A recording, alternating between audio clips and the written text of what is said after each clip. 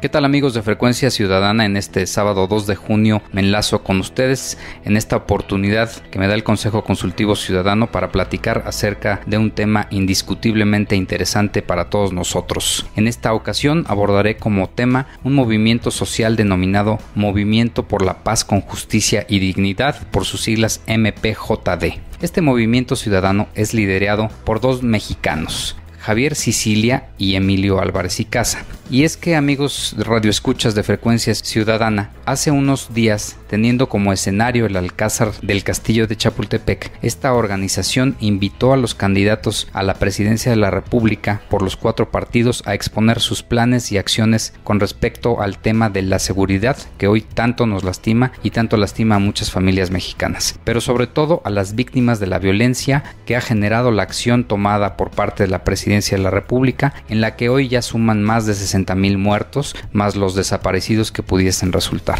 Fue de manera ordenada como cada candidato expuso sus propuestas, pero más allá de eso, a cada candidato en su oportunidad le tocó escuchar de viva voz de los afectados por la violencia diferentes reseñas de pena, dolor, sufrimiento por el cual han pasado quienes han perdido sus seres queridos o han sido incluso víctimas de la delincuencia. Me parece muy importante para los avances en el tema del empoderamiento ciudadano que quienes pretenden servirnos o gobernar para nosotros escuchen la difícil situación por la cual atraviesa nuestro país en el tema de la seguridad, pero más aún me parece fundamental que hoy con este tipo de reuniones se establezcan compromisos claros y de cara a la ciudadanía. En este tipo de encuentros, como usted pudo apreciar, no hay formatos ni teleprompters y desde luego resulta ser mucho más evidente la agilidad mental de quienes pretenden un lugar de privilegio. Por ello resulta tan interesante revisarlos y así dar cuenta quién de ellos merecerá nuestra simpatía y sobre todo quién goza de la agilidad suficiente para hacer frente a los cuestionamientos y así como comúnmente se dice agarrar el toro por los cuernos. Otra virtud de este tipo de encuentros radica en que podemos apreciar la expresión corporal de quienes están siendo sometidos, digamos, a la silla de los acusados. Pero lo más importante y válido, sin lugar a dudas, y desde la opinión de su servidor, es la manera en que los invitados son sensibles al inimaginable dolor ajeno y eso se llama empatía, un gran valor y don humano. Enhorabuena por esta reunión.